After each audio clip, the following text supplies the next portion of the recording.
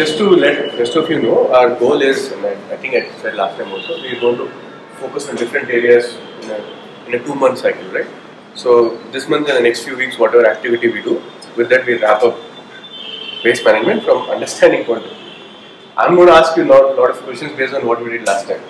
Um, but just to uh, again bring us back into focus, we had, uh, like Mukesh said, we spoke of waste and waste, which is what everybody in Bangalore understands, right? Like I said, 65% segregation already happens in Bangalore. Now we're going to talk about the other hazardous waste, which is constituted as electronic waste, medical waste, sanitary waste, and then medicinal waste, uh, electronic waste, sanitary waste, and then hazardous waste in itself. We'll talk about each of them. But before we get to that, something else to talk about. You all got your reports, um, and you all remember you filled a carbon footprinting thing. So here we thought we'll spend a couple of minutes based on where you all stand as far as your carbon footprinting uh, exercise was concerned. Now, we have highlighted a few things outside, but here's the first main thing. Team of what? 32 people here? 30, 32? 35. Our carbon footprint is about 120 tons based on what you all have entered. Just in terms of understanding numbers, if that is an annual of last year, that is equivalent to 600 trees, fully mature trees, uh, chopped off each year. In terms of numbers, so you get a you can wrap your head around it. 120 tons is 600 trees. Now the good news is, recently we planted what 300 trees in uh, Utopia. That doesn't get us out off of it. Utopia, uh, sorry, not Utopia. Um, uh, Upon is we planted 300 trees, right? That doesn't mean it's offsetting our work. That is Upan's work is being offset. So each of us also have to figure it out. But you get an idea, right? 120 tons is 600 trees worth of carbon we are all emitting each year. Now, uh, maximum carbon footprint is 27. I can easily guess it will be Abhishek for his travel. Um, my travel is also insane in our company, mine is the worst. Um, but the average is what you should look at is Rohan average is 5.72 and an Indian average is 1.72. That's four tons more than an average Indian citizen. Now, bear in mind what we do not have in the country today in terms of data is we do not know the average of an urban citizen versus a rural citizen. That skews these numbers. India is still 65% rural. Right? So that's a tricky thing. We might not know. So we don't know what's an average Bangalore citizen's carbon footprint, for instance. That's there. But having said that, we still four times higher. Now, key things to look at is uh, 80% of us actually rely on public private transport. Now, why did we want to highlight this? Do you know how much time is lost in South Indian cities? I don't know compared to Delhi where we stand, but in South Indian cities, Bangalore is the worst. Do you know how much time an average Bangalore citizen spends on on the road in a year? That's the average Bangalore. Unless we are standing, I stay two kilometers from here, so I'm lucky right now. My office is close by. But uh, there was a time I used to stay in Whitefield and I used to work in Dumbo. That used to be 13 kilometers. And it used to, if I was on car, it used to take me anywhere from, depending on some insane time, 40 minutes to two and a half hours. Right? So the average person loses two and a half days in Bangalore. So that's the, uh, so you need to be aware, carbon is part of it in your reports you would have seen. How can we solve it? We feel that even if 25% of you actually check out car, carpooling, like in Swiggy we started, we inst- uh, instituted now the idea of uh, um, ride. So after we did the same uh, exercise and we found that a significant amount of employees are using their own private transportation. If you have not tried it out, please try Rideshare. It's an app. It's a very simple app. If I'm driving and I'm in the vicinity where Bhavani stays, she'll see a message saying I've started, and then I'll pick her up on the way somewhere and come. It's a very simple thing. Companies are using since we started. Swiggy has become, and it gives you a nice report of how much you have reduced in your impact. It's a great app. It's a very simple, open, free app to use. It's the same as Quick uh, right here into yeah i think it's very similar to quick ride exactly yeah so you can use that also so whichever one you like but there are apps in bangalore very popular apps all are free makes it easy and you can use within a community you don't have to even if you don't like it you don't have to share it with others but within your office itself you can use a uh, couple of other things quickly um, uh, i want to talk about the composting now imagine this was done in june june 5th right environment day and that, data said there are four people who are composting at home only. Last month we did uh, dry and wet and we spoke of composting. Has there been an increase? Can you tell me? I'm, I'm sure the four who are doing know themselves. So, has anybody started composting since last month? Okay, then I think we should definitely consider. So, four, uh, four is a small number. Composting can be done at home, it's easy. We did last time the daily dumping, right? That's another thing which stood out. Um, 66% prefer car for short travel. It's a tricky thing. I mean, right now, that's why we're not strongly saying what you should do. We just highlighted what you could consider. This falls into a typical Mysore trip. How many of us take a train versus uh, our own car to Mysore, right? It's a terrible road to drive with all those stupid speed breakers and all that. But we all probably still tend to because we have control in ourselves. So I'm not here to preach on that. I definitely want to highlight it so you understand we at least are cognizant of our impact and then we make a choice. We have to make a conscious choice. Uh, electricity is a uh, again an interesting thing simply because I'm sure the old timers in Bangalore know we never use AC and now look at us AC is there. This is October, September and we have 19 degrees AC running here. So which is by the way inefficient. We should run it at 23. Uh, but yeah, so that you have to look at where your electricity is used. If you have an independent house, can you are you still not having solar? Water? Bangalore and Chandigarh, these two fit right smack in the middle where solar is very efficient. That's why solar water heater and solar PV is high in Bangalore. So there's going to be a hashtag that says if you're still not using solar water heater in Bangalore, so we'll be left behind as idea. So I definitely say so. This is just for your knowledge. Uh, based on your reports, you look at it. We are happy if you ask us saying, "Hey, in my report I saw this is high." some people did ask us when in July, uh, ask us, and then we'll be happy to help. Uh, but so you know where we are. Yeah. Um, so, what did we speak about last time? Dry waste and wet waste. Okay.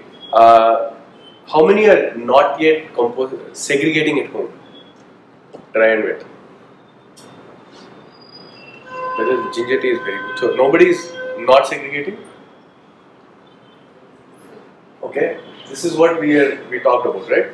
So, can you tell me what all constitutes as dry waste?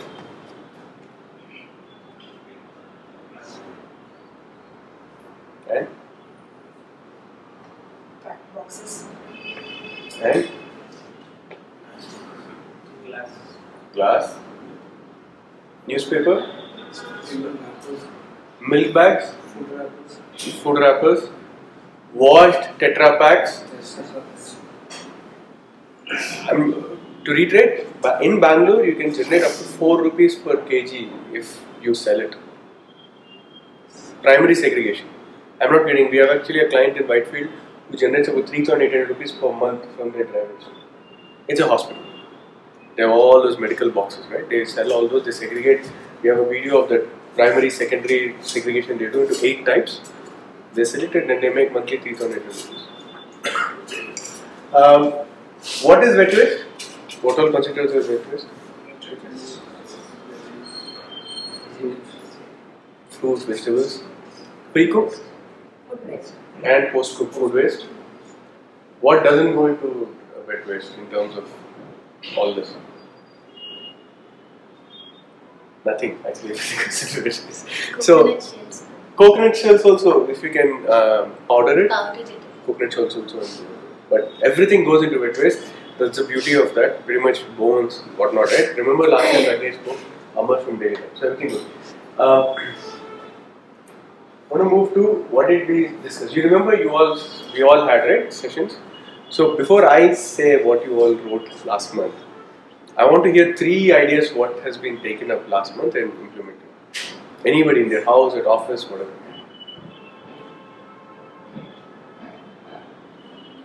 This is going to go in your performance notes. Yes, have stopped using plastic bottles. Sorry? We have using plastic bottles. Oh, excellent. At home or here at oh, home. And in office. Excellent. That's a good one. So these are also going to be replaced?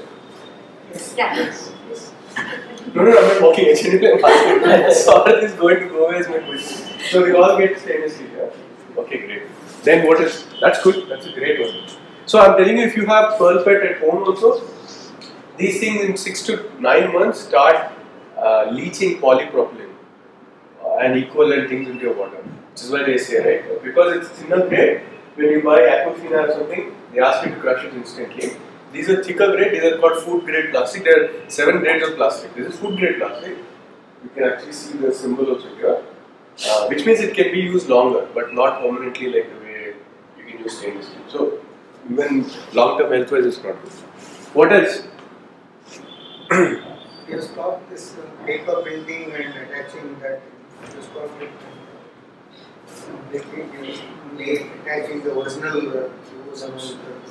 No copy. file which you, thousand pages, whatever we were doing monthly. that is something- Excellent, man. That is excellent news. Thousand pages a month is a fantastic thing. I, we will even tell you how much carbon reduction is that, and that's a great thing. You should start tweeting that. I'm telling you, construction companies have uh, suckers to the idea that we should have multiple papers, right? We have an entire room of paper. So this is great. That's actually good news. If, you can start right? I don't know where you want to document it. Can give you ideas, but if you can write it somewhere every month, imagine in six months, you have said 6,000 or 7,000 papers, that's- a huge number. We should start looking at those small things. If you have eliminated plastic bottle, if you're by doing double sided, you have reduced paper use by 50%, right? Get these numbers, have the number, forget anybody else, you will feel good that you've made a change, right? So, um, this is all the things we spoke last time. So, this, to this today we're going to talk about hazardous waste. Okay, can anybody tell me what are the various constituents of hazardous waste? What all becomes hazardous waste? Batteries. Batteries, which is electronic. Yeah. Mobile phones. We have a very fantastic Government of India video to show also. but yeah, what else? Expired medicines. Expired medicines, Expired chemicals or chemicals and detergents, exactly. This is in uh, Whitefield. How many stay in Whitefield? I'm very close to that. You've seen this, right? Yeah, yeah. I used to live there, man. I've actually gone once on two wheeler and nicely, I think, hit my car. Ah, thank you, I helmet Also, the on. whole eight feet sometime. Yeah, yeah, it's insane, right? in the rainy season. It goes right over us. Over the cars. Yeah, all we need is some nice song by A.R. Rahman. It looks nice also. but truth is, it's terribly dangerous. So why do you think this is happening? I lived like five years near that place. It was insane. Why do you think that happened? Right? Primarily, it's detergent chemical. Right? It is insane the amount of chemicals which go into it. Now, where are these detergents coming from? Sorry, Sewage Residents. it's not as Residents. factories and industries also residents. Residents. A lot of our detergents are dishwashing, clothes washing, all that also constitutes this. And then further, people, you have a cough syrup in your throat, right? A lot of people are now conscious saying, okay, I should not dump it and I'll empty it into the sink and then wash the plastic. That has a lot of chemicals too. All that go into this. It is insane. When Bellandur Lake caught fire, it is the irony, right? That inside water there is fire, and India they're trying to throw water to douse the fire. It took six hours to solve it. It is primarily because of that. And the hazardous, and there is no reduction in that, right? So it can go insane, and we have tons of uh, the amount of biomedical waste they found in when they're cleaning up is insane. So biomedical is not just what hospitals give. It is it, it is right hospitals have, but hospitals also have very stringent uh, law, uh, laws in India. NABH has very strong law. Pretty much all major and smaller hospitals ensure that their medical waste is handed over to Maridi, which does ethical incineration. Uh, it's a tiny ones, uh, um, single doctor clinics and all. Sometimes we don't know what they do, but otherwise they are pretty well handled. Um, having said that, let's uh, identify specifics on it. Right? So this is primarily what we're going to talk about. There are all other chemicals and all. You can look up. Um, we can tell you what kind of soaps to use. For example, soap itself and shampoo has a lot of uh, non-paraben options are there. You know, we talk about all that. But this is what we're going to see what we can do. Now, a quick thing about uh, and this uh, this is a state in Bangalore. I have actually spoken to Pourakarmikas. You know, I, I told you last time, I don't know if you remember. Pourakarmikas are taking your waste, that black bag, and then taking it further, right? They take it to a, a place where it is mixed and the black bags are then going on further. when it goes there, they go to a corner of the street where they can take out high quality, high quality plastic so that they can recycle. That at that point of time, that's why they don't wear gloves because they put their hand into the black bag and feel for plastic and put it out or tetra pack and stuff. There have been multiple instances when they put their hand in, they get pricked by needles, pricked by glass. I've, I've first time seen them do it. They've spoken to me. This is a big problem in prison in the Bangalore situation because this is Bangalore. I, I've gone to a landfill where there are 130 Bangladeshis who sit and do this work. North of Bangalore, near uh, on the road from Whitefield, which goes to airport from behind. That road there, there. If you want to go, you can actually see that entire place. They do this. Now, what can you do and what constitutes uh, electronic waste? So this. Uh, um, this infographic we created in 2012. So the updated data is here, right? India now, India was generating 8 lakh tons a day. Now we're generating more than 2 million tons of uh, e-waste, and only 1.8 percent is recycled. That's terrible, right? I mean, all these um, batteries and all have uh, lithium, lead, and all this is extremely hazardous and finite. You know why solar prices never fall? The chief part of your solar is battery. Battery is nearly 42% price, and you may know exact numbers, but roughly that, right? 40 42%. The reason a battery price doesn't fall is because lead is very finite. And it's so little that there's a lobby who handles and controls it. And the same thing with lithium. So these things are finite things, and then we are also, and they're very polluting as well. now, globally, uh, numbers are also pretty bad. So, this is all what constitutes an e waste. So, the things we are doing today, if you remember, and we have makeshift box today, but how many of you have not bought your e-waste from home? So there was an email. So uh, Bhavani sent an email, right? We want you to bring your e-waste and leave it here from now, and then we will ensure that it goes to a recycling place. Bangalore is the recycling capital of e-waste in India. It has got an incredible place in Jolly Mohalla. In Old Bangalore, if you go see, they recycle all these things. So um, please bring your e-waste and drop it here from now and we'll take care of them. And people have tons of those, right? We collected, we identified that we got about uh, 28 kgs of uh, medicines and uh, bottle syrups of about, I think, 400 from 3,500 houses. This is 2012. After we did this, we presented to BBMP and to the Hospital Association of Bangalore. So Bangalore is the first city in the country which uh, where the hospital association formally agreed that any citizen in the city can go drop their medical waste in a hospital and they'll take it for free and they'll ensure it's incinerated. Otherwise, all these medicines are the key toxins which go into rivers and lakes and pollute the water. So the second thing to do, how many of you have not bought your medical waste? If you have not, please bring your medicines from now. There are two bins which are going to be the e-waste and medical waste we are making a huge service by not letting that go to trash. Yeah. So um, we're going to talk to the local hospital here, they, and we'll have, depending on the quantities we are generating every month, we'll figure out how often, maybe once in quarter, once in a month, it'll go there and it'll be incinerated. But this is medical waste, medicines, right? Old and expired, tablets as well as syrups. Syringes, everything, bring all that. If you have not, please don't throw any of those, just bring them here and drop it. Um, yeah, so this is so this data. We, sadly, again in India, we don't have um, exact amount of antibiotics and stuff which go to Thames. The data we got from Thames of all the places. In England, has got uh, five different strains of antibiotics, right, uh, into the river, and they claim it to be one of the cleanest rivers in the world. And that has uh, antibiotics of five strains.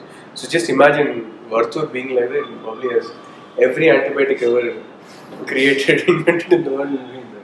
But yeah, so it's, it's pretty dangerous. Want to move to sanitary. Now, uh, this number is staggering.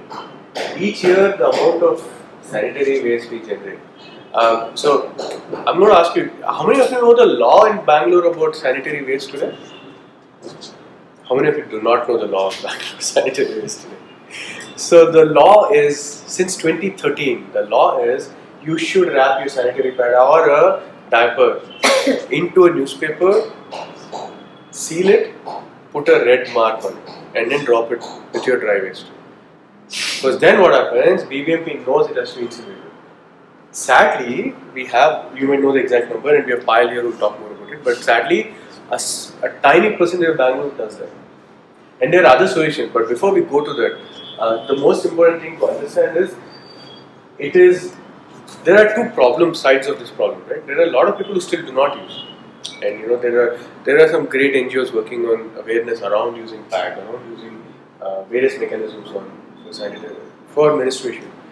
Uh, but uh, what happens after a pad is used is also equally dangerous. They're all um, hygiene problem, especially the way we dispose it. I can give you a non-Bangalore example. Um, Sukanya and I and another colleague, we went to, we were working in a school, uh, only girls' school in Porbandar. I mean, we saw thousands of them. There was no education on them, and half of them were not using. They did not know. The ones who were using, they were just dumping. They were dumping on the grounds, and all that when one rain is all you need, okay? And then it leaches into the soil. Just imagine. Imagine our culturally, what did we have? We said that those three four days, you can women cannot go into the temple or into God's room which itself is a huge discussion. Which I, I question enough arguments on that. But on one side we're thinking like that, on the other end we're willing to throw. And this is both sides. It's not about a women's issue, right? So as much as a society, are we are we creating enough awareness? Are we creating enough infrastructure to handle it? And I think that's what we need to really understand. So uh, we have Payal here who's going to talk more about it. But quickly, what's happening today, right? Uh, is just getting dumped in common dustbin. It goes to landfill. In that picture, we could have easily put our Porbandar picture there as opposed to a cartoon. And we have, we have some crazy pictures in that school. It is scary. Um, just to tell you, the school is run by Juhi Chawla, the actress. She couldn't believe it when we showed her the pictures. She said, "I can't believe this. happened." There are 1,800 kids in that school." um, and then we had a scary situation there. So now we're putting a sanitary incinerator there also to handle all the bags.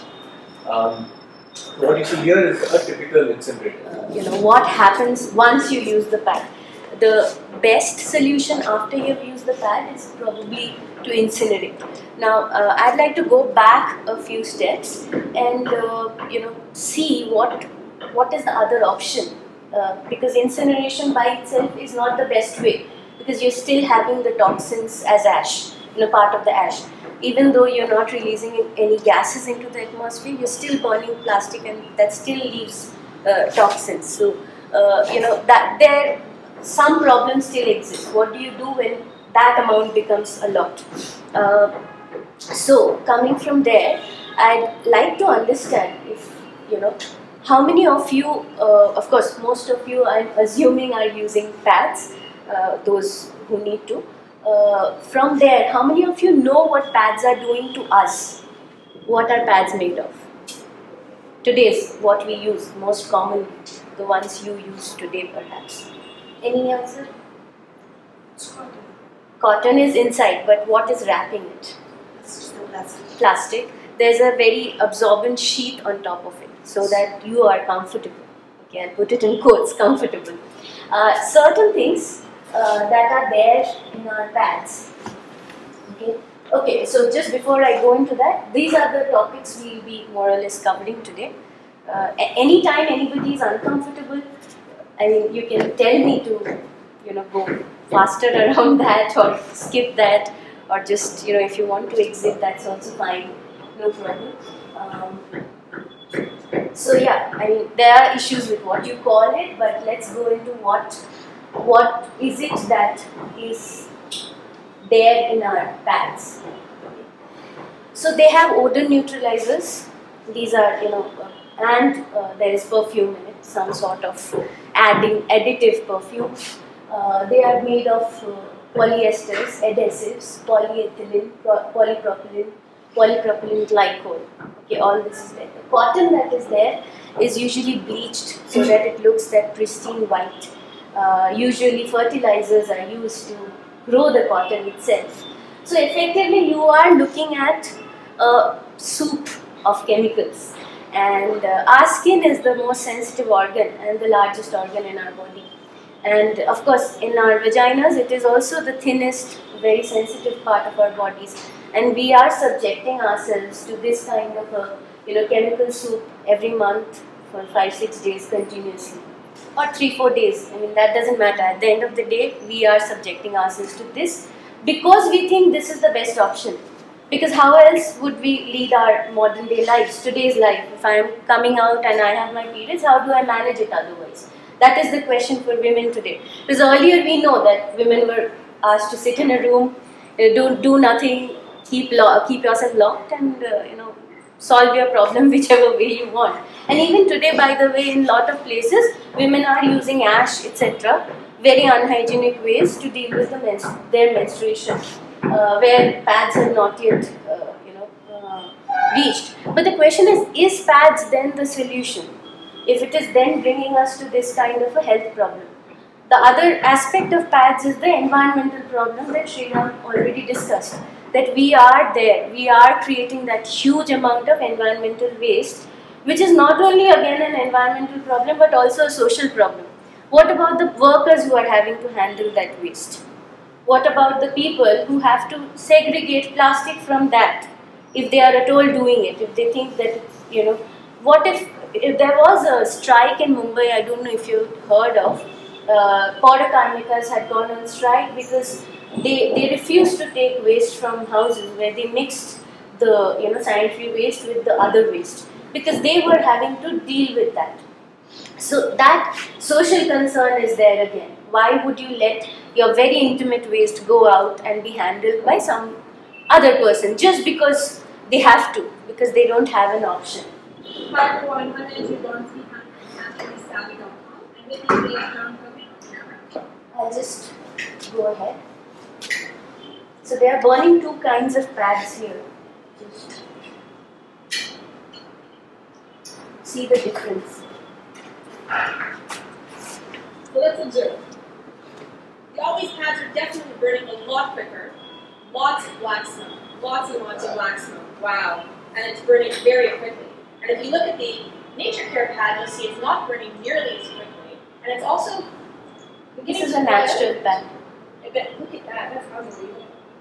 It even smells. You can even smell. And look at the foam. You can see, if you look really close, you can see the foam that's being exposed from the fire. Look at the size of the flame too. It's really Yeah, the nature care one is definitely not doing it nearly as good. Holy cow, look at that. Unbelievable. So I guess you've got the point I was making. So dioxins are another part of you know what we have in the pads and what happens with even trace levels of dioxins. What do we know about them? They are of course carcinogenic. Uh, they have been uh, linked with abnormal tissue growth, cell growth. Uh, it also is linked with immune cell suppression, immune uh, system suppression, and hormonal and endocrine system disruption. So these are the health hazards. Uh, have you heard of toxic shock syndrome, anybody? That is usually associated with tampons, but uh, it has been linked to very high absorbent tam- tampons. Uh, so it is possible to get TSS, which is a uh, which is a result of you know your uh, the the uh, using very high absorbent material in during your periods. So again, uh, these are the the symptoms of TSS, and it's it can even cause death. So these are the kind of risks we are subjecting ourselves to when we are looking at um, these kind of products like tampons and pads. So we have talked about the environmental uh, problems. The options are deep burial, incineration, but again, you know, when we talk about the earth, uh, where is it going? When we talk about our homes, you know, earlier in, in every city that has come from villages, I mean, cities have evolved from villages finally. So in India, especially, we had this problem that people would sweep off their, you know, clean their house and put things on the street, right? I, I think it's not a very old phenomenon across India that we would dump things on the street. Uh, even now, people do that. I mean, pass with, with your car and dump a bag of garbage on the street and go. So we have this concept that our house is clean and that's all we want. We, we don't care about what is happening outside.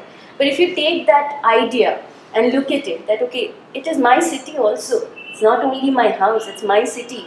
And then project it to, right up to the planet. Where is away? Where do you throw away? So deep burial or incineration is actually not solving the problem. there is no away. This is our world. And this is the only one we have as of now. I mean, with or without Elon Musk trying his you know best. So um, these these also have their own problems. So let's look at what the options are. Now, do you have you heard of any of these options? Cloth pads, biodegradable uh, degradable products, menstrual cups, sea sponges are very rare. Just put it as one of the options. Have you heard of any of these options other than our normal pads? Yes, cups. Uh, any other cloth pads being reused again? Yes. Okay. So some of you might have heard of them. Uh, now that I, uh, any questions on them quickly or any immediate reactions? For example, when I was told about cloth pads, I have grown up using cloth pads. I was uh, when I was a child, I have used cloth pads. Again, I'm quite old, 40 this year, so don't be surprised. It was not that pads were not available, but pads were just as inefficient, so it didn't matter. So I have, uh, I've used cloth pads as a child, and it was a mess. I mean, as a child, you're learning it, and you know, a lot of problems. And when I was told about cloth pads as a way of, you know, being in a sustainable way managing my period, I said, dude, I'm not going to do that again. I've done it and it's over. So if any of you have any such reactions, please feel free. I mean, I'll take it, no problem. So yeah, cloth pads. Uh, now, uh, the thing is, when we were using cloth pads as children, uh, or you know, if any of you have ever used it, you would know that we are using homemade home cloth, like old cloth, to use, uh, you know, as cloth pads. Uh, I'm not saying that's a bad option. If you can manage it, it's a good option. Nowadays, there are some options which where you can buy cloth pads. Okay, so there are some companies that are selling cloth pads, and many women talk about reduced cramps when they use cloth pads as compared to, uh, you know, pads and tampons. Because simply because the, if you use cotton cloth pad, it is not making you dry. Okay, it's not absorbing what it is not required to absorb. Uh, so it is not making you dry and some people especially who have issues any kind of issues and uh, can't use cups are uh, you know enjoying cloth pads more than cups also now if since um, no, let's let's uh, quick. The cloth pads look like this, very pretty. This is Eco Femme uh, cloth pads, but there are various brands available now. You can try it out, and the things that you need to remember to use cloth pads is that uh, you need do not use hot water to clean them. Soak it overnight, let the blood run out, and then put it in the wash. Wash it as normal. So that's the biggest tip I can give you if you're trying going to try it out. Also, it has a you know uh, not not plastic but uh, a cloth layer that does not let liquid go out from the other side. So again, that is useful uh, because it, you will not stain yourself easily. The other option is uh, disposable stuff, disposable but biodegradable, uh, uh, you know, tampons and pads. These are little expensive, but at least you're doing your bit for the environment. Uh, though we do not, you know, subscribe to disposable things on, on the basis of sustainability, but it's definitely better than using our normal pads that have plastic. It's also better for your body because usually these are also organic. Okay, so it will go back to the environment in some time. Uh, I will not go into sea sponges because these are not very easily available. Uh, the next is menstrual, menstrual cups. They look like this uh, and they are malleable, that is, you can fold them. What you basically have to do is fold them and put it in your vagina. It collects the blood rather than absorb it. So that way, what you're not having another product to throw away. You can use these for up to 10 years. Okay, you need uh, you you need uh, there's a little bit of a learning curve with this. Yes, you need a couple of cycles to figure everything out. How uh, you know what is the your how what is the changing schedule for example when you have to change and but it is one of the best options because what you're doing is you're just dumping your blood and cleaning it and putting it back right there's nothing that you're throwing away blood is anyway organic it's going to anyway you know it's part of the system so part of the system of earth so there's nothing that you're throwing into the earth which is not which does not belong there So yeah, for me menstrual cups and also as a woman, I can tell you menstrual cups are a lifesaver. You can do anything you want with them. You can go swimming, you can uh, go hiking, trekking. You don't have to worry. I mean, uh, I've even done 12 hour bus journeys like from here to Goa. I just, there was no problem at all. You don't, there's so many things which we are, we have got so used to wearing pads, we don't even realize those are problems. For example, rashes or, you know, some little odor sometimes. Sometimes that trickling feeling, the wet feeling, these are not there with the uh, cups. So I'm not trying to sell you a cup, but yeah, I'm trying to sell you a cup. But the bigger idea is that just as a from a woman to woman, forget the environmental issues, the health issues. Just try it once. It, you will get a cup in on Amazon for 250 rupees. Try it with the cheapest brand. Just see. I mean, for me, it was like when I told my mother, my mother said, "I wish I had not menopaused already, so I could use use it once and see." So yeah, I, I consider myself to be a cup evangelist. So uh, try it out if you can. And yeah, a comparison. So menstrual cups, good as a standby, no rashes, no odor, no reduced activity, no discarding required, and economic too because you will spend what at the most the most expensive cup is two, 2500 these are imported stuff. And at the lower range it is 250 rupees. Choose whichever. I would say choose a lower range one. Find a good one that fits you that you're happy with and if you want to upgrade you upgrade. So uh, you know there's no need to go for a very expensive cup right at the beginning. Uh, yeah so if now that you know about cups if you are considering trying it or if you're not either way you can write in to me or you can give me a call. Uh, Sukanya can share my coordinates with you. You can shoot any questions. Where even if you are having one issue with it that no this is my problem. Or if you want if you have any questions you can ask right now. But uh, otherwise also you can shoot the question to me whatsapp message call anything i'll be happy to help uh, you know with whatever or you know i can help To wrap up, so the three hazardous waste we spoke of were Electronics, medical. and all three we have to do. Um, Sukanya is going to stay here with Ria to work on uh, e-waste and medical waste collecting, and with Bhavani we're going to have a place to collect. And this was very informative, and you know Mukesh was telling me on the side that he'd like to get this deck to share with his, uh, his family, and you know please take it, uh, share it with people. I think it's my wife herself uses the cloth bags. Um, there are enough options you should consider. We are considering setting up an incinerator at the office so that the idea is also that other floors also can use and it has a great positive benefit. So that is going to happen pretty soon. Um, yeah, so that's it. I want to tell one thing. I don't know, Mukesh doesn't want to say, so I'm going to be Mukesh's spokesman. It has nothing to do with. So I was talking about Quick Ride. Mukesh actually has been using it. So here's his stats, right? Um, he's done 375 rides where he shared with people. That has, I'll, I'll do the sales pitch right now, which is 18,258 rupees he saved. That's the money he saved. Carbon wise, he saved almost five trees just in the last how many months is this? Three months, I guess. In the last three months, he saved almost five trees, four and a half trees, which is let's round off to the positives, five trees. Uh, I think that's phenomenal work. Okay, I'm trying to tell you you should do, and you have a champion in the office who's doing. Um, please consider this a fantastic product. Uh, I, I'm a big fan of this product. I cycle, so I don't use it, but I'm saying you should consider. Um, yeah, thanks, Mukesh. Um, anyway, so that wraps up. Uh, we want to definitely finish uh, collecting the waste and get into the process. Payal is here a few moments. if you want Yeah, she's here. You can talk to her. Um, but the thing is to continue the activities which we took up. We have three more weeks before we start up the next thing, which we moving into commute and travel. Uh, but before we get to that, anybody has anything else and any other activity we go to do on waste, please pick it up. Please document it. You know, I'm going to ask next month about what we did last month, so please remember that. Um, but uh, thank you.